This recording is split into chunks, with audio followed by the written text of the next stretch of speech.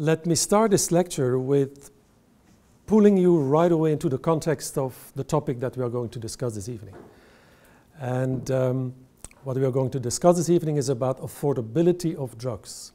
And this, of course, is linked to pricing of drugs. And pricing of drugs has become a very sensitive issue over the past year, maybe years.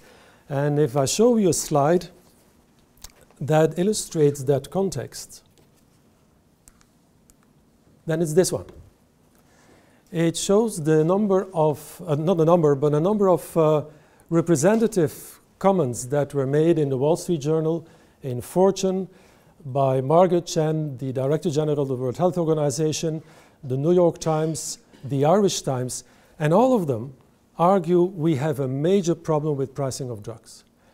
This is a situation that is difficult to sustain, and you will see later on that this is in fact the case. But I'm going to take you through a number, first of all, I'm going to take you through a very short case because this is a business school and a business school is all around cases. So I'm going to give you one short slide with a case study just to put you in the mood, okay?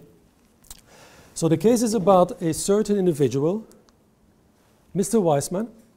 And Mr. Weissman was, uh, at one point, he, he woke up in the morning and he had a slide fresh. And he said, well, this is not a big problem. I'm going to treat this with anti-allergic uh, drugs and it, it, will be gone soon. But the point was that Mr. Weissman was uh, diagnosed with uh, T-cell lymphoma, which is a serious cancer. So Mr. Weissman was treated with a number of drugs and still a number of other drugs. And at one point, he came into financial problems. And in fact, Mr. Weissman, who was a long-term employee of a big firm, actually had to fall back on charity in order to be able to be treated. This on itself is a serious case. This is not only in Tampa, Florida. This has been the case for many, many years in Africa, for many, many years in India. This is becoming the case in countries such as Belgium, where I'm coming from. So we have a problem with pricing of drugs.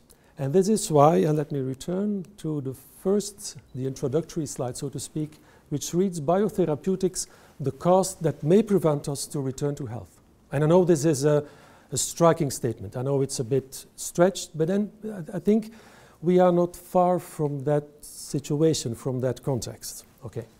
So let me go through this, go beyond this case, and let's talk about biotherapeutics. What is so peculiar about biotherapeutics? Biotherapeutics constitute a public good. Okay? It is a product that prevents epidemics and treats people so that they return to health, so that they can become operational in society and drive or work together in, in an economic system. So it's a public good. But on top of that, a biotherapeutic also has a, carries a moral weight that most privately, privately owned goods do not have. I don't know whether you have heard the interview from that CEO of Turing Pharmaceuticals who was challenged because of the 7,000 increase in, in over, overnight increase in price for the drugs for treat HIV.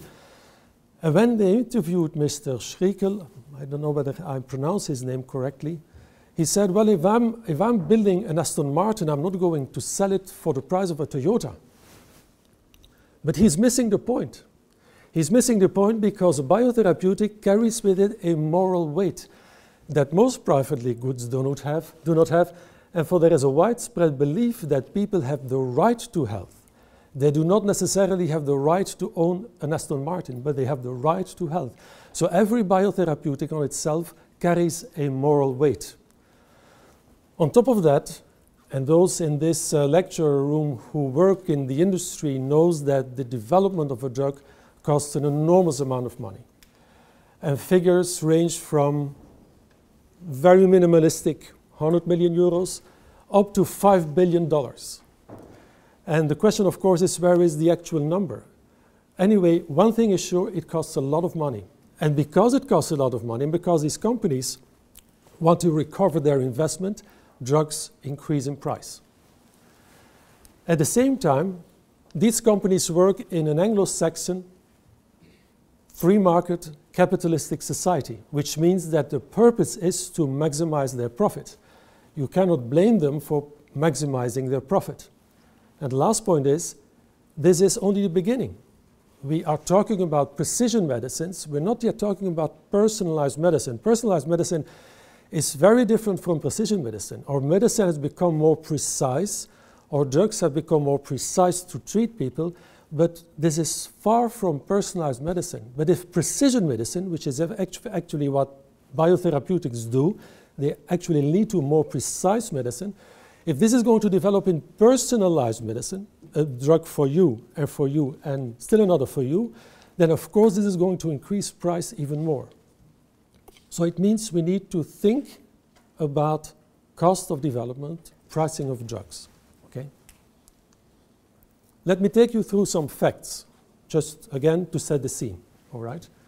The facts.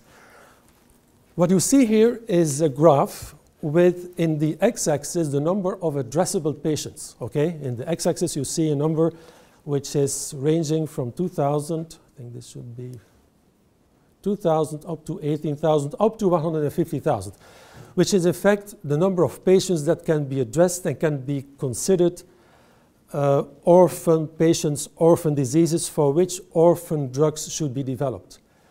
And the development of an orphan drug costs as much as the development of a non-orphan drug, which means that if you need to recover all the costs for an, for, for an orphan drug, then obviously price increase. And this is what is showing this curve. For all these orphan drugs, the price goes up to um, an annual cost per patient up to 550,000 euros, dollars, excuse me, up to 1,400,000 for one single treatment of Glybera, which is gene therapy.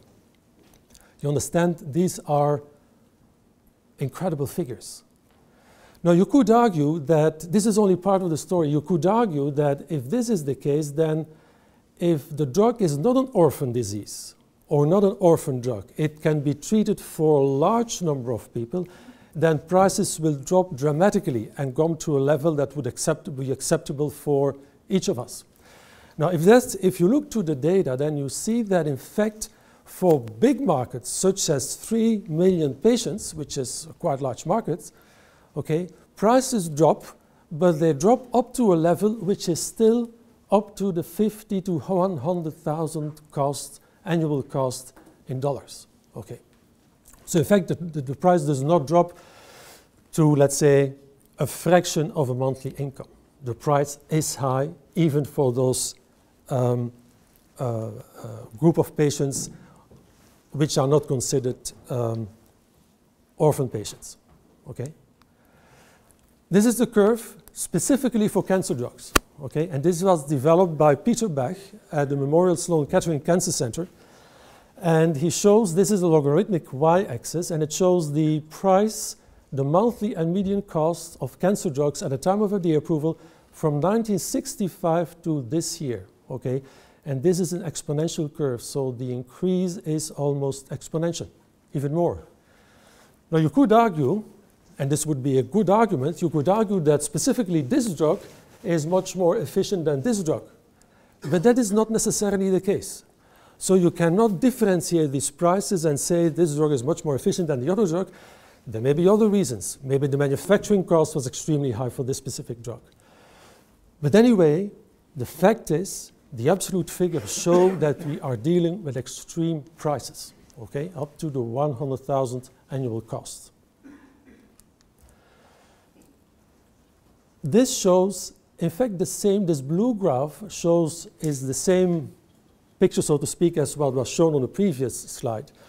But the green one is quite important. It shows that the cost to gain one year of life based on drug prices in 2014 dollars increased from what about 2,000 euro, excuse me, from about 54,000 euros up to 224, some cases 300,000 euros increase. Okay, so the cost, the, the, the, the amount of money that it needs in order to gain one additional year of high quality, of good quality life is 224,000 euros you could, or one could argue and explain or give a number of reasons why this is the case, but we are focusing now on the specific fact that these prices are there. They face us, they look to us right in our face, okay? This is a picture from Belgium in which this is the amount of money that is being reimbursed for drugs, but not precision medicine. And then it shows you, it, it shows that in 2005, there was an amount of precision medicine reimbursement, then that quadrupled in, by 2013 by four times, fourfold increase. Now, if this is only for oncology drug, you can imagine what is going to happen if this is going to take place for multiple sclerosis, for diabetes, for all the other diseases for, for which precision medicines are being developed today. So it means that, again, we are facing not only the patients, because this, in fact, is a picture that was presented by the Ministry of Health on a health conference last week in Brussels. It not only addresses patients, it also addressed governments. Okay? So there is a huge problem not only for the patients and for communities, there's also a huge problem for governments and for the amount of money that will remain available for treatment of disease. In fact, if you read the most negative papers on this topic, they will say that at one point you will need to choose whether you will need, you, you will need want a healthy community or you want a community that can make use of uh, free uh, university and whatever, and free education. You know, at one point you will need to choose, okay? So why do prices increase? Well, there are a number of reasons. Increased R&D cost, precision medicine, orphanization, and this is what is called orphanization because if this would be a group of patients and I could divide this group in different subgroups, because that would be more precise medicine, then of course each of this group will need its own drug, it will need development, and the development cost would be the same, but I would like to recover my money from investment from this group and from that group. Okay, that is precision medicine. So precision medicine increases R&D cost, increase regulatory pressure, the classical um, uh, comment, the increased need for clear value. So the ideas about the me too drugs and the me better drugs will be gone within a couple of years. Increased selection risk and opportunity cost during discovery, increased outsourcing of basic drug discovery. So therefore, price reflects the risk and cost of development and the cost of manufacture. And therefore, price reflects the added, or should reflect the added value of the new biotherapeutic. But it also reflects monopoly pricing. Because specifically in the States, in the United States, you put a price on a drug because there is a patent, and there's nobody who's going to argue this is too high. Well, at, this, at, at these times they do, but for many years, nobody argued about the price. Okay? It means that the status quo is unsustainable. We cannot go on as is. We need to do something about it. The status quo is unsustainable. So it is unsustainable for patients because at one time health expenses may absorb important fractions of family income if the trend continues. And it may lead to poverty, which is actually the case today in Belgium.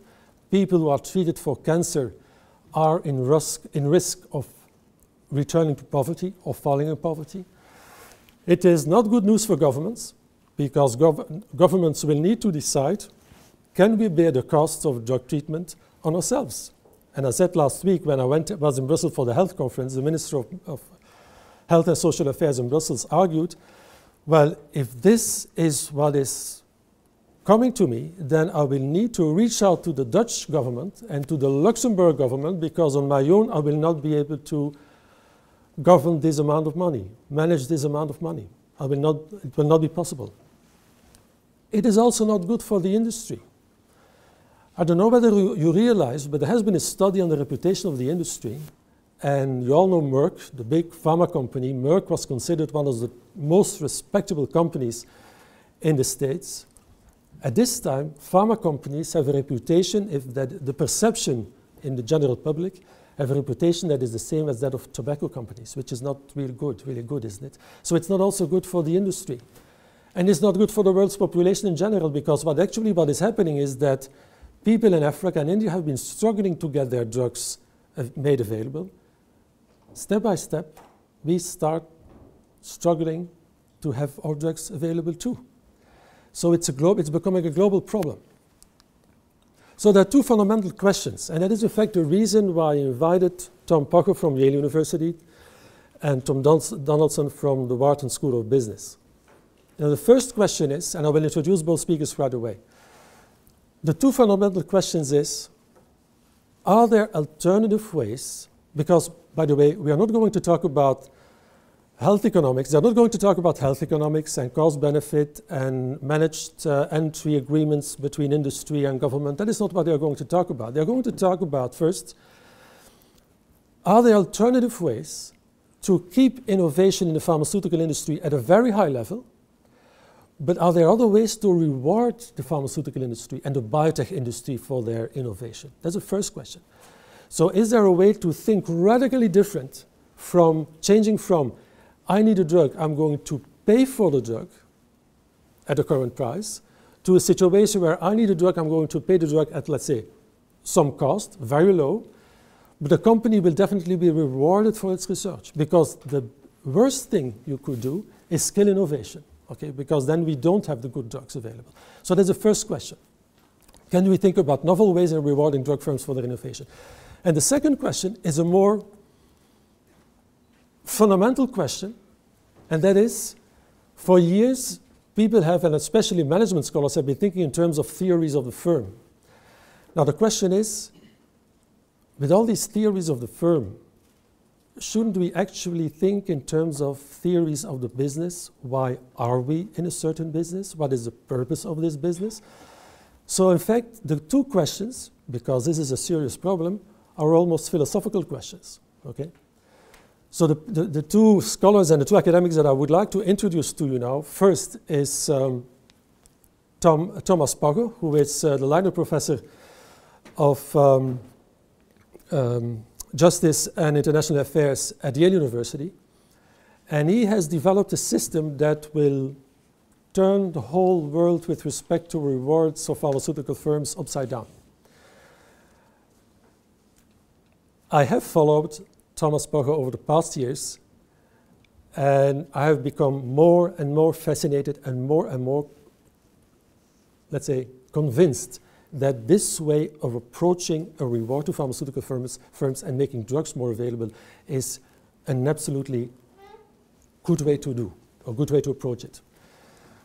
And then I'm going to leave a word to Thomas Donaldson, Tom Donaldson the Wharton School, and he's going to address what is the business of biotech all about? And the reason why I invited Tom is very simple. Tom was here about a month or so ago, and Tom had a, had a lecture here in the business school about a theory of the business. And I attended that meeting, and when I left that meeting, I was reflecting on what Tom said and said, well, this is actually what we have been waiting for. This is what we need, a theory of the business to reflect on what a business in fact is. Not about a firm, we have sufficient theories of the firm, but what is the business? What are we doing with this type of business? Okay.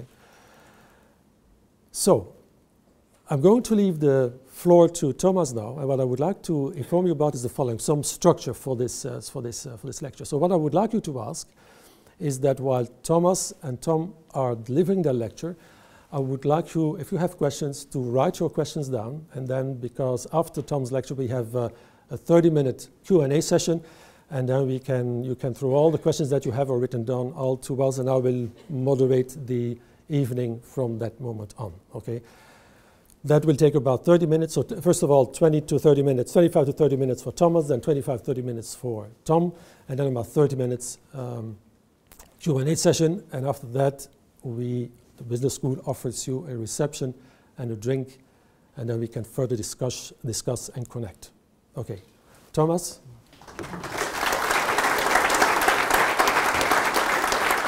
So,